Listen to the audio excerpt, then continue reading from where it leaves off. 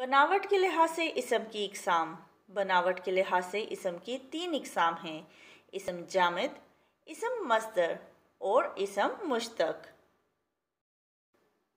इसमें जामिद। इसम कहते हैं किसी शख्स, चीज़ या जगह के नाम को और जामद अरबी ज़बान का लफ्ज़ है, जिसके मायने हैं ठोस या जमा हुआ। इसमें जामिद वो इसम है जो ना खुद किसी इसम से बना हो और ना इससे कोई दूसरा इसम बने। जैसे ईंट, दरख्त चट्टान दौलत, चटाई, मेज़, कुर्सी, पेंसिल, किताब, कलम वगैरह, ये वो अल्फाज हैं जो ना खुद किसी इसम से बने हैं और ना ही इनसे कोई दूसरा इसम बन सकता है।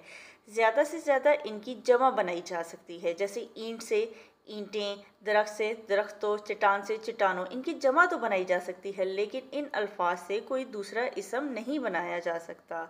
तो वो अल्फाज जो ना खुद किसी इसम से बने हों और ना ही उनसे कोई दूसरा इसम बन सके, उसे इसमें जामत कहते हैं। इसमें मस्तर मस्तर के लघवी मायने हैं निकलने की जगह या बुनियाद, क्योंकि इससे बहुत से नए अल्फाज बनते हैं। तो इसमें मस्तर वो इसम है जो खुद तो किसी से ना बने, लेकिन इससे बहुत से इसम और फेल बने।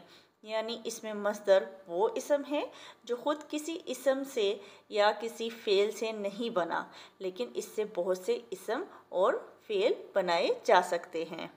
जैसे लिखना से लिखने वाला, मिलना से मिला, पढ़ना से पढ़ा। लफ्ज़ है यहाँ पर लिखना, उससे नया लफ्ज़ बन गया लिखने वाला। लफ्ज़ है मिलना, उससे नया लफ्ज़ बन गया मिला और लफ्ज़ है पढ़ना, उससे नया लफ्ज़ बन गया पढ़ा। इसके अलावा जिस तरह हर चीज़ का नाम होता है, इसी तरह हर काम का भी एक नाम होता है। जैसे उठना, बैठना, जागना, ये सब क्या है? ये सब काम के नाम हैं। इन सब कामों को भी मस्तर कहते हैं। यानी मस्तर वो इसम है जो किसी काम का नाम हो और इससे कई इसम और फेल बने। मस्तर काम के नाम को कहते हैं, जैसे खाना पीना, सोना, आना, जाना वगैरह। मस्तर की अलामत ये है कि इसके आखिर में ना आता है। जैसे उठना, बैठना, सोना, खाना, पीना, उड़ना वगैरह। बहुत से अल्फाज ऐसे हैं जिनके आखिर में ना तो आता है, लेकिन वो मस्तर नहीं होते। जैसे गन्ना, नाना, बिछोना।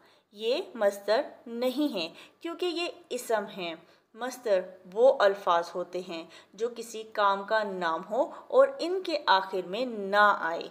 वो मस्तर कहलाते हैं। मुश्तक।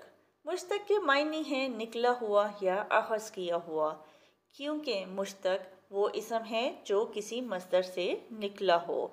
वो इसम जो खुद तो किसी मस्तर से बने, लेकिन फिर इससे कोई लफ्ज़ ना बने इसे मुश्तक कहते हैं। जैसे लिखना से लिखने वाला, लिखने वाली लिखा हुआ और लिखता है।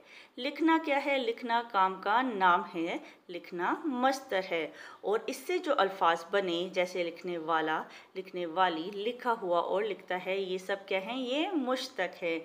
मस्दर से जो अल्फाज बनेंगे, वो मुश्तक कहलाएँगे। इसी तरह सजाना से सजाने वाला सजावट सजाया सजाएगा सजाना क्या है? सजाना काम का नाम है सजाना मस्तर है। और इससे आगे जो अल्फाज बने सजाने वाला सजावट सजाया सजाएगा ये सब क्या हैं? ये मुश्तक हैं। यानी मस्तर से आगे जो अल्फाज बनते हैं, वो मुश्तक कहलाते हैं।